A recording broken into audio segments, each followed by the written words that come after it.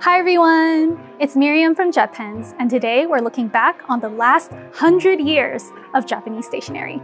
Keep watching to see how it's evolved into the stationery we love today.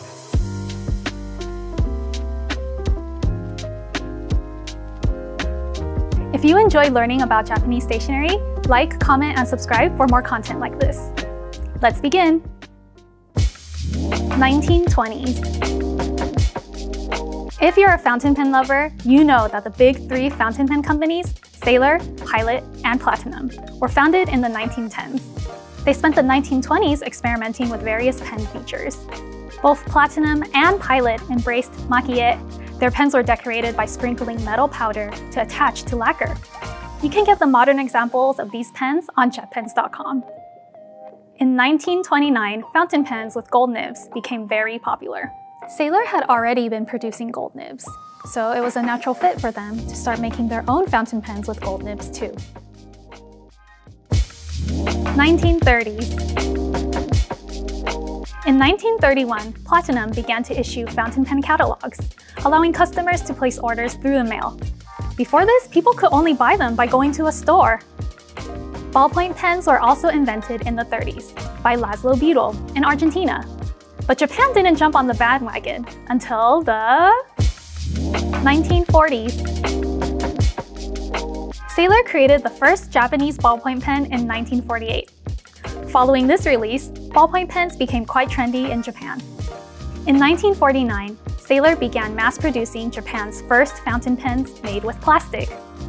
At the time, caps and barrels all had been made from ebonite, a compound of sulfur and rubber, or celluloid, a compound derived from cotton and camphor resin. Unlike earlier materials, plastic bodies could last longer and were easier to manufacture. 1950s. In 1952, two years after its founding, Midori produced Japan's first business planners. What started out as a popular gift in the corporate world would eventually spawn modern techo culture. Techo, or planner culture, celebrates the joys of organizing and creatively expressing your life in a paper planner. The Hobonichi Techo and Jibun Techo, two of our most popular planners, are great examples of this. Of course, we also love Midori's MD diaries, which use their luxurious MD paper that they've been perfecting since the 1960s. Meanwhile, in the pencil world, until 1955, most Japanese mechanical pencils extended lead via a screw mechanism, which was popularized by electronics company Sharp founder Hayakawa. Suddenly, push-button mechanism pencils became the standard. They made it easier to keep writing. In the same year, the company Seed invented the first plastic or vinyl eraser. It erased much more cleanly than rubber erasers. You can find Seed's plastic erasers on our site today. 1960s. The 1960s saw three major releases. In 1963, Pentel released their water-based felt tip pen. Sales were initially slow until it was later discovered by US President Lyndon B. Johnson, who used it to sign photographs. It was then rebranded as the Pentel Sign Pen and brought back to Japan as a sleeper hit. In 1964, Ohto developed the world's first ball pen with water-based ink, calling it the roller pen. We have the modern version of Ohto's Fudeball Rollerball pen. Its pigment ink is water and fade resistant. In 1965, Sunstar released the ARM pencil case, a durable polycarbonate case kicking off the popularity of box-type pen cases. We have the updated version of it on our site, so we can attest to its durability. 1970s. In 1972, Sailor created the first fude, or brush pen. Kuretake soon followed in 1973, leveraging their experience with sumi ink and felt tip pens. The fude pen was like a traditional calligraphy brush, but used ink cartridges, removing the need for a separate sumi ink block. You can try out Kuretake's most popular brush pens with our sampler. Japan's first fluorescent highlighter was also developed in the 70s by Tombow, following the massive success of their cult classic Mono line, which was released in the 60s. 1980s. The 80s saw several major breakthroughs in ink formulations, with Sakura being at the forefront.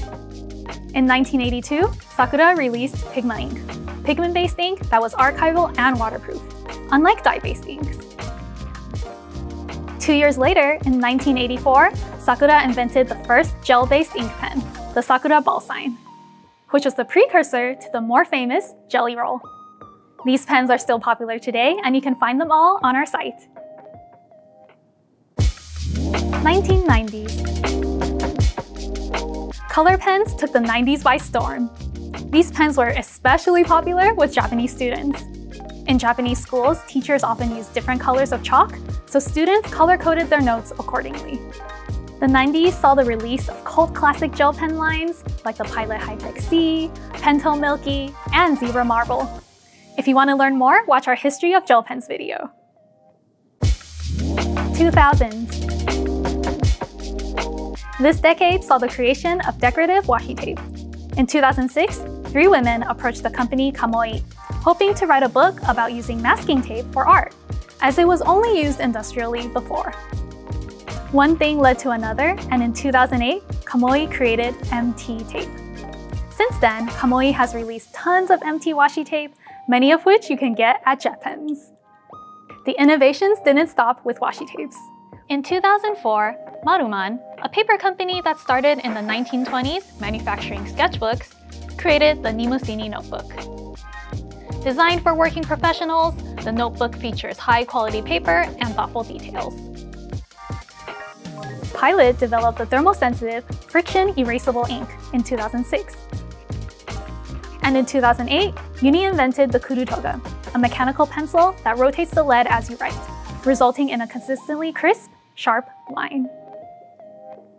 Both companies also created customizable multi-pens for the market, the Pilot Hi-Tec C Coleto and Uni Style Fit.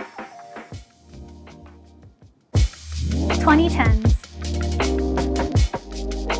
In the 2010s, brands started making products for more specific purposes, constantly innovating to meet every need a customer might have. For example, Kokuyo made soft ring notebooks so you won't hurt your wrist on metal rings. Uni created Propus highlighters with transparent windows in their tips to let you see where you're marking. And Lab released convertible pen cases to make carrying pens around easy and fun. 2020s. In the first few years of the 2020s, we've already seen Japanese companies experiment with more innovative ink formulas.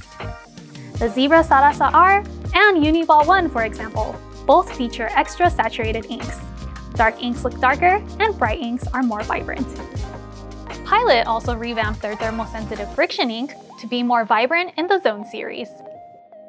Other stationery brands have gotten creative with pen tips, like the Sunstar Ninipie Dual Tip Highlighter, which has a chisel tip and fine liner right next to each other. Recently, companies have started focusing on stress relief. At the end of 2019, Zebra released the Blen, a ballpoint pen designed to eliminate vibrations and rattling that can cause distractions. Pentel soon followed up with the Calme, a minimalist ballpoint pen made for people who are sensitive to sounds. As we proceed through the 2020s, we can't wait to see what the future holds for Japanese stationery. We weren't able to cover all the amazing innovations from Japan, so give us a like and make sure to subscribe to our channel for more content like this. You can find all of the products mentioned and more at jetpens.com, the place for pen and stationery lovers. Thanks for watching! Bye! When I found out we were doing this video, I dug around the house and I found this in my husband's stash. And this is vintage Pentel felt tip pens from the 80s. The pens still work. We're missing some colors though, sorry. But yeah, I thought it'd be cool to show these in the video. Um, let us know in the comments if you have any vintage stationery lying around and we'll see you in the next video. I can't shout out your name, but commenter, you commented on one of my videos because in the beginning, I'm always like, hi, I'm Miriam, a buyer at JetPens. And then you replied, hi, Miriam, I'm a buyer at JetPens too. And it cracked me up.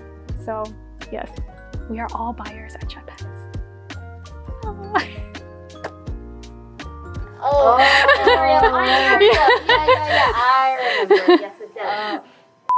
In 1931, Platinum began to issue fountain pen catalogs. Before this, people could only buy them by going to a store. Can you imagine? And now you buy them online at no. jetpens.com. Right. Turn that off. Hello? Hello? So sorry. よせよ。よせよ。もしもし。What started out as a popular gift in the corporate world would eventually spawn modern